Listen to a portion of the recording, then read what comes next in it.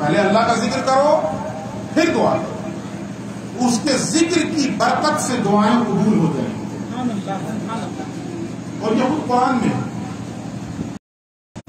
हम लोग अपनी ज़िंदगी में सबसे ज़्यादा जो दुआ मांगते हैं, वो क्या सबसे ज़्यादा। हम सब अपनी अपनी ज़िंदगी में सबसे ज़्यादा जो कॉमन है ये। कोई नहीं कह सकता कि नहीं, मैं ये नहीं मानता हूँ ज़्यादा। मैं इसमें थोड़ा कम कोई नहीं। हर मुसलमान की ज़िंदगी में सबसे ज़्यादा मांगी जाने वाली दुआ है कि दिन बेशक। हर नमाज़ की हर रकत में मांगी जा रही है। ये अलग बात है कि जब हम कह रहे होते हैं ना ईद सिरात मुस्तकीम तो दिल का ख्याल भी नहीं आता कि अल्लाह से मांग रहा वो तो सिर्फ़ पढ़ना रहता है बड़ बड़ बड़ बड़ निकल गया। कैसे वाला तालीन आमीन हो कि छोटी सी अच्छी सी सूरत लगाए और रुकू हो फिर फटाफट जो है गुजार दी जाए नमाज़। नमाज़ पढ़ी ना जाए गुजार दी जाए। ये हमारा रवैया है। इसलिए इकबाल ने कहा था कि जो मैं सर बसजदा कभी हुआ तो जमी से आने लगी सदा तेरा दिल तो है सनम आशना तुझे क्या मिलेगा नमाज़? वाह। काश उस वक्त क्योंकि अल्लाह से बंदे का सबसे ज़्यादा ताल्लुक नमाज़ में होता है। सबसे ज़्यादा ताल्लुक नमाज़ में। सबसे ज़्यादा करीब बंदा अल्लाह से हालत नमाज़ में होता है। उस वक्त जब हम ये कह रहे होते हैं ईद सिरात मुस्तकीम हमारे जिस्म का बाल बाल अल्लाह से मांगने लग जाए तो मैं पूरे यकीन के साथ कह सकता हूँ कि सलाम फेरने से पहले अल्लाह हिदायत दे दे।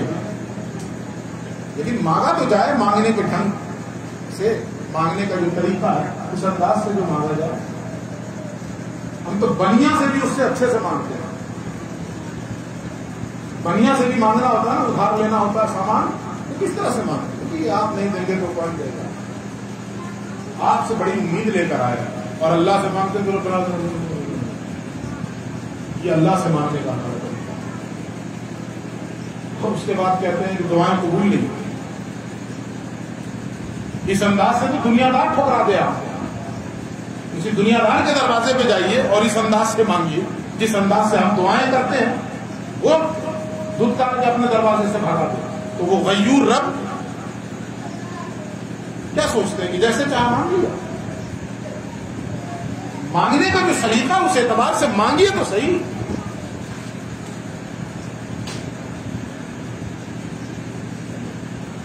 मांगने की बात हो रही थी, मारने की कोई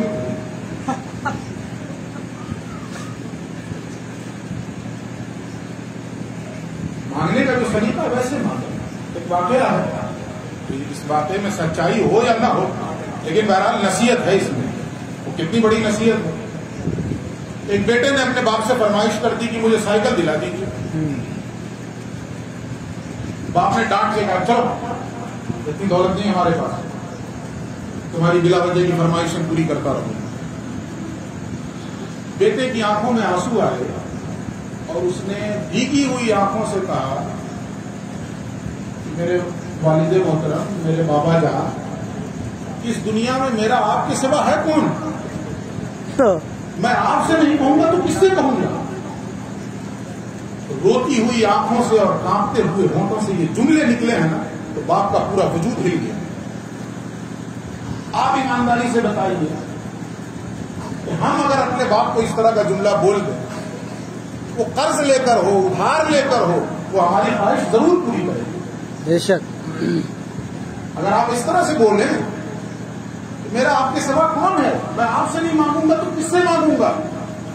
तो बाप के पास न भी हो जब भी वो कहीं ना कहीं से इंतज़ाम करके देगा। और वो रब्बुल आलमीन अल्लाह तो कोई कायनात का मालिक है। उसके खजाने में कमी क्या है? मांगे तो सही जो मांगने का ढंग है। परवरदिगार तेरे सिवा मेरा है कौन? मैं तेरी बारगाह में आ गया हूँ। मेरी आरजुएँ पूरी फरमा दे यकीन जानिए चेहरे पे हाथ भी नहीं फिरेगा कि उसकी रहमत को तवज्जो बेशक।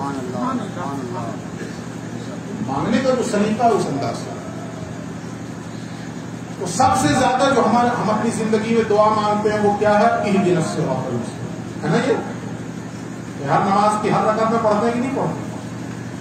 हाँ ये मैंने पहले बता दिया कि अलग बात है कि ये ख्याल नहीं आता है कि हम मांग रहे हैं। ये ख्याल नहीं आता है कि हम अल्लाह से मांग रहे हैं। हम तो बस एक टारगेट अचीव करना होता है, जब सूर्य फातिहा मुकम्मल करना है सूरत मिलानी है, रकत पूरी करनी है, सलाम फेर के निकल जाना है। कहीं रू न परवाज हो जाए। ये हमारी हालत होती है नमाज़ में। और उसके बाद कहते हैं कि वो बड़ा किस्मत वाला इंसान था कि नमाज़ में मर गया। और खुद तो निकलने की जल्दी रहती है। और दूसरे को अगर मौत आ जाए तो हर शख्स दूसरे से कहते हैं, कैसा खुश नसीब आदमी कि नमाज़ में मौत आ गई। और हम लोग भागने की कोशिश करते हैं। कहीं मौत ना आ जाए।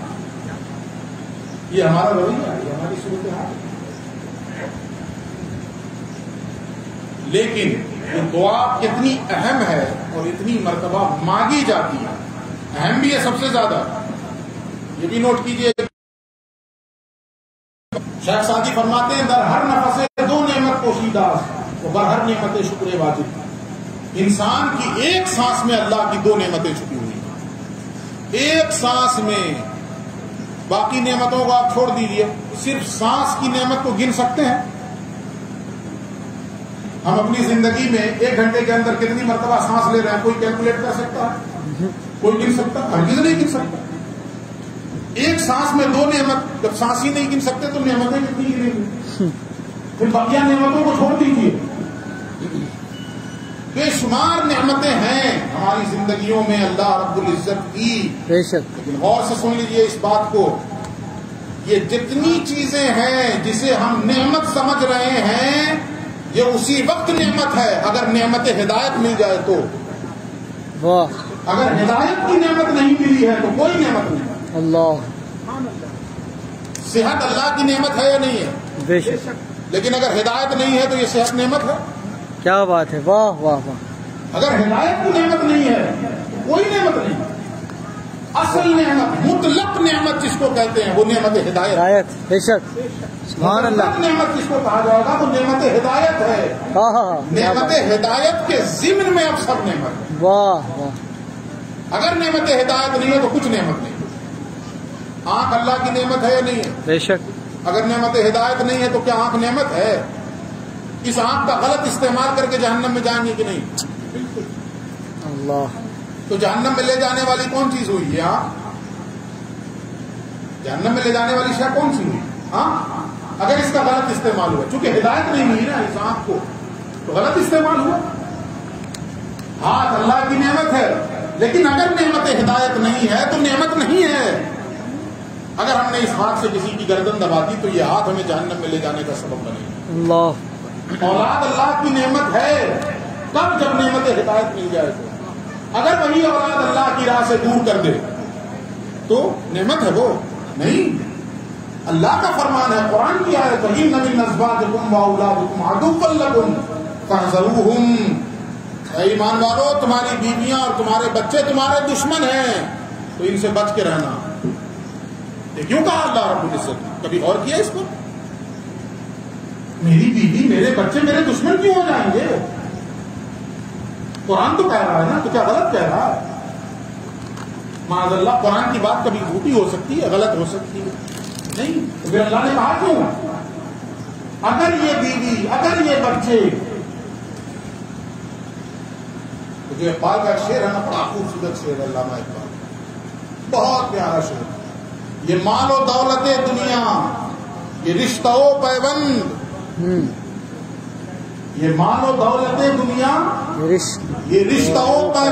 बुतान बहनों गुमाम ला अगर ये बुद्ध बन गए हमारी ज़िंदगी में ये माल खुद बन गया। अब अल्लाह की पूजा नहीं हो रही है माल की हो रही। है दौलत बुद्ध खुद बन गया।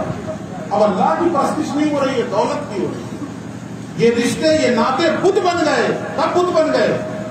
बुत कहते किसको है जो अल्लाह से रोक दे। वही तो बुत है। सूफिया के यहाँ सनम वही है जो अल्लाह से रोक दे। बुत वही है जो अल्लाह से गाफिल कर दे। जो शख्स जो चीज़ अल्लाह से गाफिल कर दे वो बुत है। अब ये रिश्ते नाते बीवी बच्चे औलाद माल दौलत कारोबार घर ये सारी चीज़ें अगर अल्लाह से दूर कर दें ये बुत है। ये हमारे दुश्मन है। यही जहन्नम में जाने का सबब बने। तो फिर से आप नोट कीजिए कि हमारी ज़िंदगी में सबसे ज़्यादा ज़्यादा मांगी जाने वाली दुआ भी यही है और सबसे अहम दुआ भी यही है। दिन इसलिए कि इस नेमत के बगैर कोई शय नेमत नहीं है। अगर नेमत हिदायत नहीं मिली है तो कोई शय नहीं। और नेमत हिदायत मिल गई तो कुछ नहीं भी है। तो हम ये कह सकते हैं कि मैं दुनिया का सबसे खुश नसीब इंसान इसलिए अगर अल्लाह राज़ी हो गया आपसे हिदायत की नेमत मिल गई, अल्लाह राज़ी हो गया और बाकी सब नाराज़ है। कोई नुकसान है? अल्लाह राज़ी हो, बाकी सब नाराज़ है। तुलसी का या कबीर का एक दोहा है कि सब रूठे, पर तुम ना रूठो, तुम रूठे तो गजब हो जाए। हाँ हाँ। मेरे मौला सब रूट जाए, कोई फ़र्क नहीं पड़ा। सूफिया का मतलब है, नज़र ये रहा करता। सारी कायनात रूट जाए, कोई फ़र्क नहीं पड़ता मेरे मौला तू न रूठ इसलिए कि अगर तू रूठ गया तो गजब हो गया हमारी। हम तो अलाप हो गए। हम तो बर्बाद हो गए। तो अगर किसी को हिदायत की नेमत मिल गई, और बाकी कुछ नहीं मिला, फिर भी वो खुश नसीब है। और सब कुछ मिला नेमत हिदायत न मिली तो बदनसीब है बंगला है, गाड़ी है, औलाद की कसरत है, दौलत की बेल बेल है, नेमत हिदायत से महरूम है तो बदनसीब है।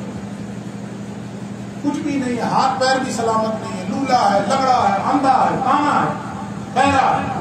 सारी खराबियाँ उसके अंदर, लेकिन नेमत हिदायत से माला माल है तो खुश नसीब है। समझ गए इस चीज़ को कि सबसे ज़्यादा मांगी जाने वाली भी दुआ और सबसे ज़्यादा अहम दुआ। क्लियर है ना ये चीज़? सबसे ज़्यादा अहम दुआ है, लेकिन ये इसका नंबर कहाँ आ रहा है, ये पढ़िए सूर्य अल्हम्दुलिल्लाह रब्बिल अर्रहमान अर्रहीम। मालिक अब आ रहा है आप अल्लाह से कहिए ना कि परवरदिगार इतनी अहम दुआ है। तो इतना लंबा करने की ज़रूरत क्या है? खड़े हूँ और सीधे। यही से शुरू हो जाए। फ़ौरन मांग लिया जाए। ये अल्लाह की सुन्नत हमें कुछ दर्श दे रही है। ये अल्लाह का तरीका और अल्लाह का कलाम हमें कुछ सबक दे रहा है। दुआ तुम्हारे लिए सबसे अहम है। लेकिन इस दुआ की कबूलियत का ज़रिया क्या है? दुआ बाद में मांगना। पहले मेरा ज़िक्र कर लेना वाह मेरी हमदो सना कर लेना मेरी किबरियाई का बयान कर लेना मेरे रहमान और रहीम होने को आवाज़ दे लेना मुझे अपना मालिक तस्लीम कर लेना कहना आलमीन। तमाम हमदो सना तमाम तारीफ़ और तौसीफ का मालिक सिर्फ़ और सिर्फ़ अल्लाह रब्बुल इज़्ज़त है जो सारे जहान का रब अब रहमान रहीम। वो रहमान है। वो रहीम है। मालिक यौमिद्दीन। हिसाब किताब के दिन का तनहा मालिक। हमने हमदो सना भी कर ली, उसका ज़िक्र भी कर लिया। अब उसके बाद उससे